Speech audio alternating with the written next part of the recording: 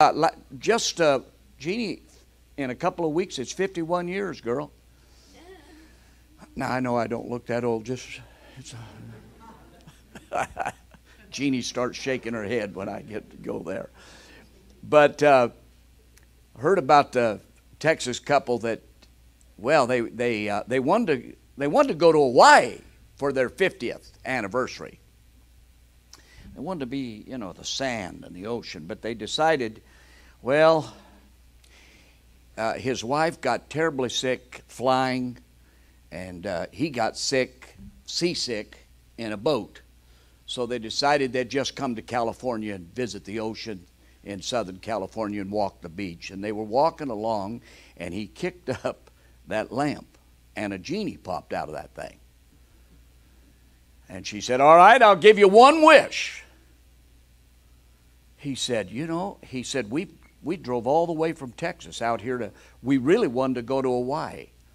Uh, what I wish is for you to build us a highway from here from Los Angeles all the way to Honolulu. That genie looked at him and said, Are you crazy? Do you realize the astronomical impossibility? Where in the world the steel girders and concrete to ha- and how deep it is in the Pacific Ocean to support this kind of a bridge? She said, Forget all of that. I'll give you one more chance. Go ahead. What's well, he said, You know, we're celebrating 50 years of marriage, and she's told me from the first day, You just don't understand me. So he said, I just wish I could understand her. The genie stood there for a moment and said, Do you want that a two lane or a four lane? yeah.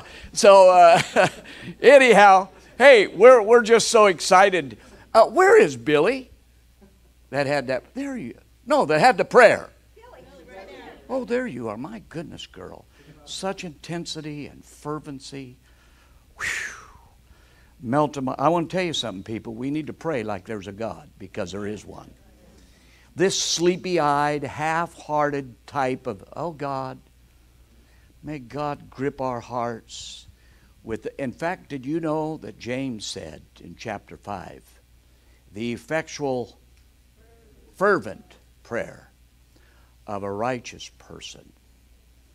Whew it brings results. A lot of times our prayers are just complaining in the name of God. Oh, God, you see how bad it's terrible. And oh, Lord, we don't know. And my God, I'll talk to you more about it tomorrow, Lord. Hey, all you've done is have a fuss and fit in the name of God. Come on. Pray that there's a God that hears our prayers and He's a God that desires to answer. Whoo! Can I get a witness here today? Uh, anyhow, we're just uh, thrilled to be able to have the opportunity of sharing with you. I want to talk to you this morning. And uh, first of all, I want to tell you my message is about a piece of property that I hold a clear title deed to. I've had the, the deed for over 55 years. I, I didn't buy it, it was given to me without money and without price. Now, the donor purchased this property at a tremendous sacrifice. I'm not holding the property for speculation or resale since the title is not transferable. I haven't seen the property, but I have been given assurance that it's not a vacant lot. So, for over a half a century, I've been sending materials and I have the assurance that the greatest architect and builder of the universe has been working on this special home. It'll never need to be remodeled or repaired, it'll never deteriorate. It's special for me. Termites will never undermine its foundation because it's built on the rock of ages. Fire cannot destroy it. How many of you say thank God for that? Floods cannot wash it away. Earthquakes will never crack its walls. And floods will never wash it away. And it's a gated community like you've never seen. No locks or bolts will be needed for its doors because no thief or vile person will ever walk in this land whereby dwelling stands. It's almost completed. And made ready. I'm excited about it. It's where I will live and abide in peace without fear of ever being rejected or ejected. My heart is singing hallelujahs. it's getting nearer and closer every day. Now, I'm aware that I may have to pass through some valleys of shadows between my home in San Antonio and this journey where it ends. But I'm not afraid because my best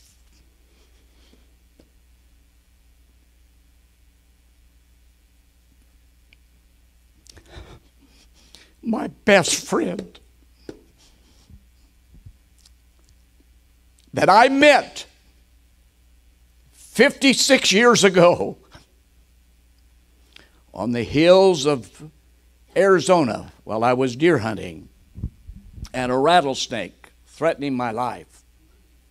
And God spoke to me and said, Look how much I love you. That thing should have bit you. I was within two feet of it. And he said, Look how I watch over you. That friend, he's taken all fear of gloom and of the future and of eternity. he came into my life. I have the assurance of his promise that he will never leave me, he will never forsake me. And whatever dark valley of shadows that I've got to go through between here and that city of gold, I will not lose my way because He's already traveled the journey and He's promised to show me home. I think most of you know by now I'm talking about heaven. I don't think we talk enough about our future home. Let me share with you Actually, this is not my message, this is Jesus. Let me tell you three things that he says about heaven. Read with me. I'm going to look at this from John 14. And maybe, Brother Tom, the reason we don't talk about this is because we live in America in such a materialistic culture and world of our day. And we fail to remember that we're pilgrims, we're sojourners. This world is not my home. I'm just passing through. So go ahead and get comfortable. Act like you're going to be here for a thousand years, but I got news for you. You're not. Let's look at it. John chapter 14 and the first six verses. Let not your heart be troubled. Wow. What a great word. Don't let your heart be troubled. You worrying about the future? He says, don't, don't, don't, don't be troubled. You believe in God, believe also in me. In my Father's house are many mansions. If it were not so, I wouldn't have told you. I go to prepare a place for you. And if I go and prepare a place for you, I will come again and receive you to myself, that where I am, there you may be also. And where I go, and the way you know, Thomas said to him, Lord, we don't know where you're going, and how can we know the way? And Jesus said, I am the truth, and the life. No one comes to the Father except through me. And then one little passage that certainly fits with that is in Hebrews 13 14, and I think you have it there. Look at this passage. For there is no permanent city for us here on earth. I'm glad you like where you're living, but there's no, hey, talk to the people in Redding. Over a thousand homes. There is no permanent city for us here on earth. We're looking for a city which is to come. Did you know the word heaven occurs just over 500 times in the Bible? Actually, the Bible talks about the three different kinds of heavens. First of all, there's the first heaven. Uh, that's the atmospheric heaven. Boy, it's filled with a lot of smoke these days. It's the sky. And then there's a second heaven. That's the stellar or celestial uh, heaven, it's outer space. And then there's the third heaven. That's the divine throne room, that's the abode of God. A great songwriter, in fact, most of you will remember the words of this song years ago. He put it like this There's a land that is fairer than day, and by faith I can see it afar. My Father waits over the way to prepare us a dwelling place there. In the sweet, by and by, we shall meet on that beautiful shore. In the sweet by and by, we shall meet on that beautiful shore. In the text that I read from John chapter 14, those six verses, Jesus, this is actually the night before he goes to the cross that we celebrated the communion service. He's just celebrated the Passover with his disciples. He's designated Judas as the traitor. He identified Peter as, as the disciple that would deny him three times before the night is over. And it's in this that Jesus, right in this group, he tells them three things about heaven. Let, us look at them right quick in these next few minutes. First of all, he says heaven is a real place. Second, it, he tells us that heaven is a prepared place. And thirdly, he tells us that heaven is a prepared place for a prepared people. Look at me with this uh, just for a moment that heaven is a real place. And I remind you, these are the words of Jesus, not my, my words. But notice, according to what Jesus said, heaven is a genuine place, it's a real place. Jesus doesn't go into a lot of details describing all that is there. Uh, that's in other places of Scripture, but he did call it. He did call it in this passage a place where he was going a place from which he would return, and a place that one day he would gather all to whom the Father had given him and, and take them to this real place. Now, this is reinforced in some other passages where Jesus said in John chapter 6 and verse 38, he said that he came down from heaven. In the Sermon on the Mount, Jesus taught us to pray. He said, our, Pray after this manner, Our Father which art in heaven. In Hebrews chapter 8 and verse 1, it tells us that Jesus, after he performed his work upon the cross, that he sat down on the right hand of the throne of majesty in heaven. In Luke chapter 24 and verse 51, just before Jesus ascended into heaven, the scripture says that while he, do you know the last thing he did was bless his disciples? He blessed his children. I'm telling you what, he's a blesser. He blessed them. And the scripture said he was carried into the heavens. And the angel said, Hey, hey, hey, hey, hey, this same Jesus that you see taken into heaven, he's coming back.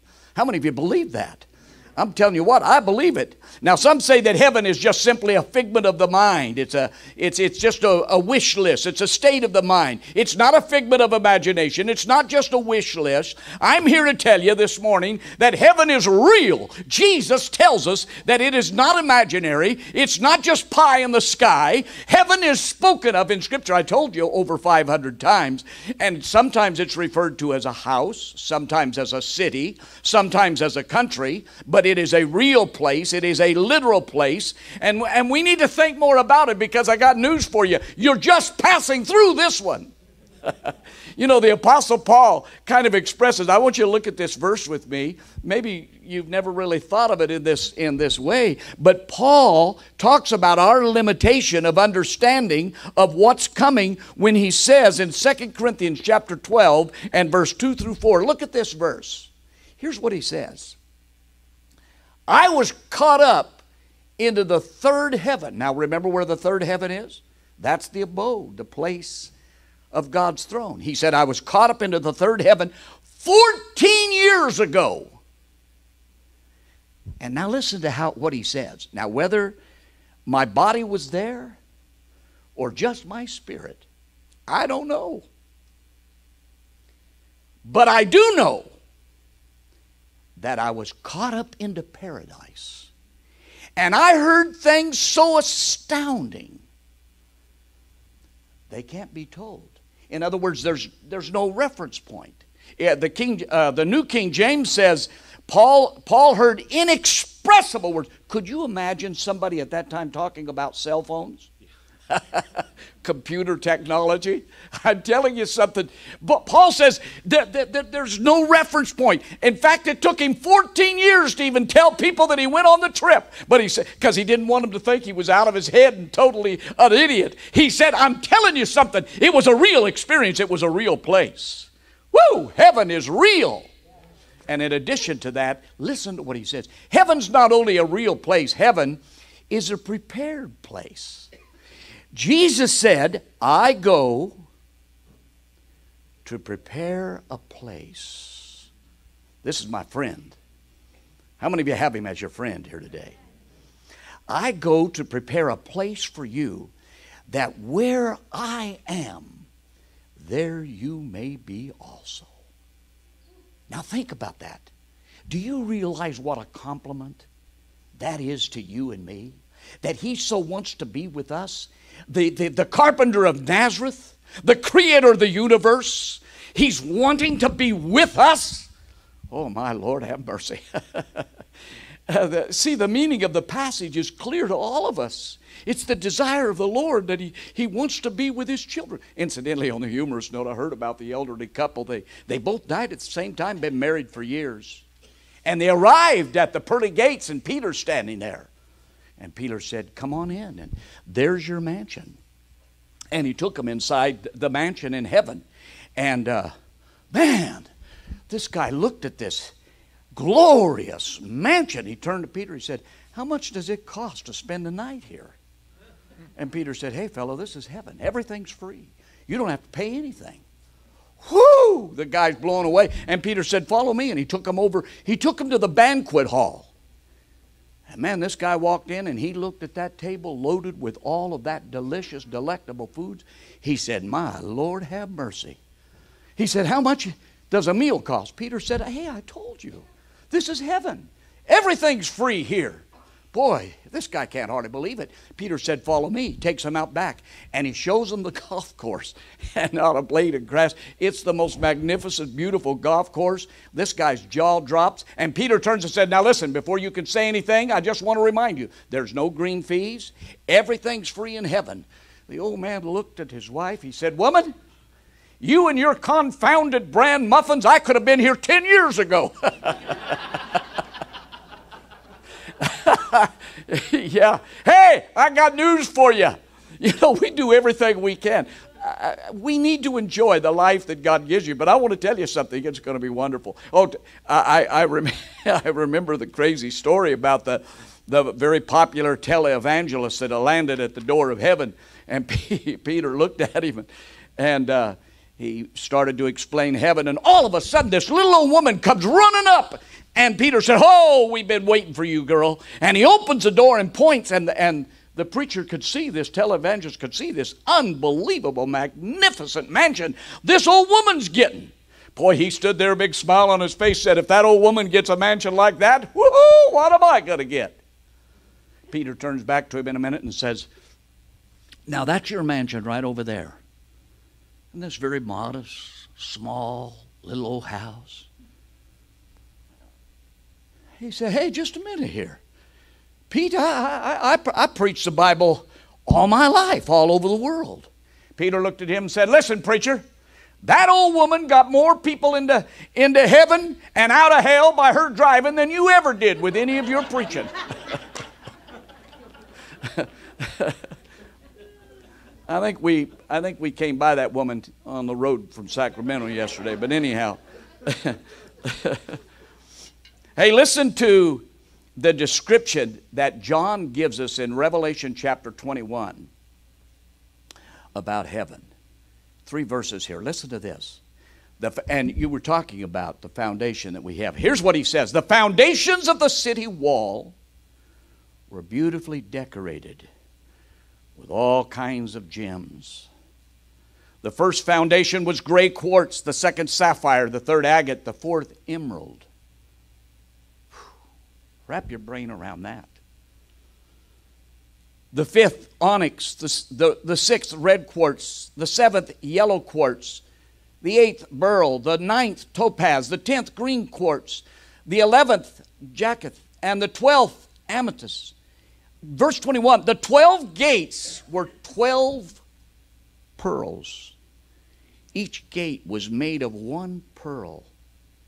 The street of the city was made of pure gold, as clear as glass. Whew. Just, just take a moment and think about what John is describing. The beauty itself is almost beyond our imagination. You know, I read of a man, true story, and I think it was in New York, that he went into a, uh, an art studio, a very distinguished art studio,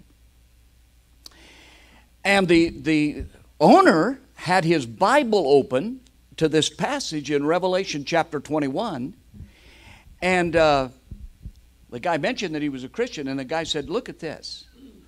He was arranging on this table squares of colored glass.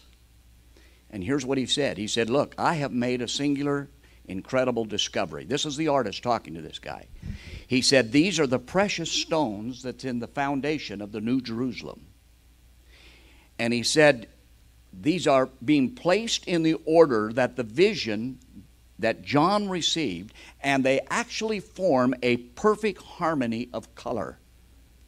He went on and said, Listen, if you were to gather together a convention of artists and you asked them to produce a color scheme that was perfect, they could not improve upon this color scheme. John tells us here in Revelation that heaven has streets of gold, its gates of pearl, a great white throne that's surrounded by a rainbow that looks like an emerald.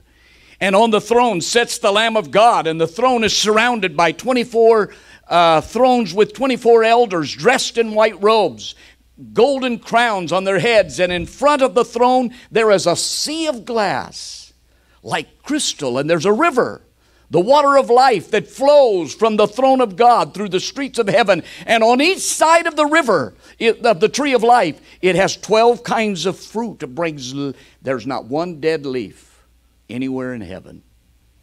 And then heaven's a big place. He describes the size. Yeah, that, that's, there's room for everybody. It's 1,500 miles long, 1,500 miles wide, 1,500 miles high, and the wall that is built around it of jasper, and its foundation adorned with 12 different precious jewels.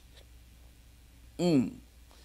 How many of you know that God loves beautiful things? Boy, all you've got to do is just look at the world around us. Who do you think painted the butterfly and his wing with all of those gorgeous hues? Who, who do you think made those sunrises and sunsets last night when we were coming back from Sacramento and we looked at the setting sun and it affected somewhat by the fire? It looked like burning fire. Did any of you see the sunset last night?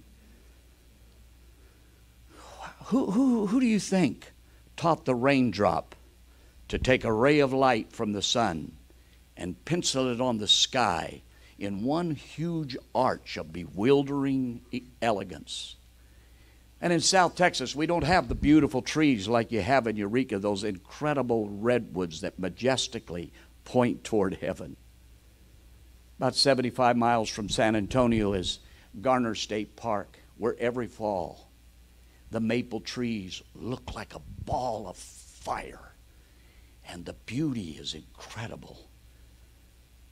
Who, who do you think made my daughter and son in law just got back from Hawaii? Who, who do you think made the fish?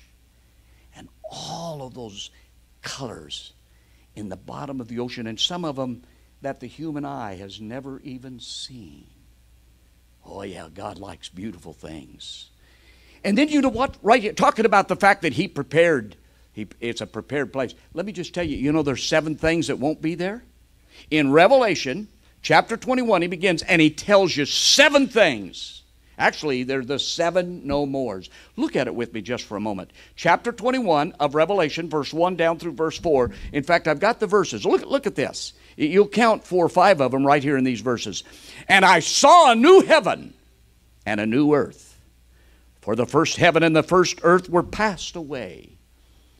And here's the first one there was no more sea. I'll come back to it. Verse 2 And I, John, saw the holy city, New Jerusalem, coming down from God out of heaven, prepared as a bride adorned for her husband. And I heard a great voice out of heaven saying, Behold, the tabernacle of God is with men, and he will dwell with them. And they shall be his people, and God himself will be with them and be their God. And God shall wipe away all tears from their eyes. And there shall be no more death, neither sorrow, neither crying, neither shall there be any more pain, for the former things are passed away. Now, now let me identify the seven things. Seven no mores in Revelation, right here. First of all, there's no more sea. You see, what's that? It's the rivers, the oceans, the seas, the waterways of the world that have divide, divided all the various nations and the people groups. But I'm telling you something, when He comes, He's going to gather together all in heaven and in earth of all, of all people of one blood. Heaven's going to be a wonderful place. No more division, no more hatred. There'll be no prejudice. There's not going to be any white power, black power, whose power. It's all going to be God's power. Amen. And then he says there's not going to be any more tears, no more tears. All the tears and crying will be wiped away.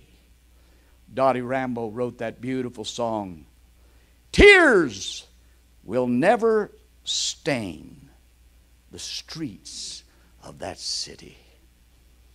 Mmm. Can you calculate the heartache, the tears of humanity? He's going to wipe it away. And then no more no more death. You know from the garden of Eden with the death of Abel who was murdered by his brother Cain the human race in the last 6,000 years has been one long funeral dirge. Think of all the heartache, the tears, the brokenness, the goodbyes. But I'm telling you, there will be no more death. Hmm. Somebody else say hallelujah for that. Oh, yeah. And then in verse 4, he says, There'll be no more sorrow. No more sorrow. Number 5, he said, There'll be no more pain. how many how many of you kind of live with pain you're, you're you know you, you live with pain there'll be no more do you know 1 corinthians chapter 15 listen to what he says i see you rubbing that arm he says in in uh, corinthians 15 he says that our heavenly bodies will know no corruption or dishonor. See, what that means is that unlike this physical house, this physical body that we live in, that body will never grow old. There'll be no age, no weakness. It will experience no deterioration, no decay, no disease. My body, that body will not be susceptible to any infirmity, no sickness or disease. That those bodies, they will be glorious and powerful and dynamic. Those new heavenly bodies will not be limited by time and space. We'll have a body like his glorious body. Remember, Jesus ate with his disciples. He walked through the wall. I mean, he was here, he was there. He was with them in Jerusalem, he was there in Galilee. I'm telling, I'm telling you what, there will be no limitation, no pain, no suffering. Woo! Hallelujah. Dear Lord.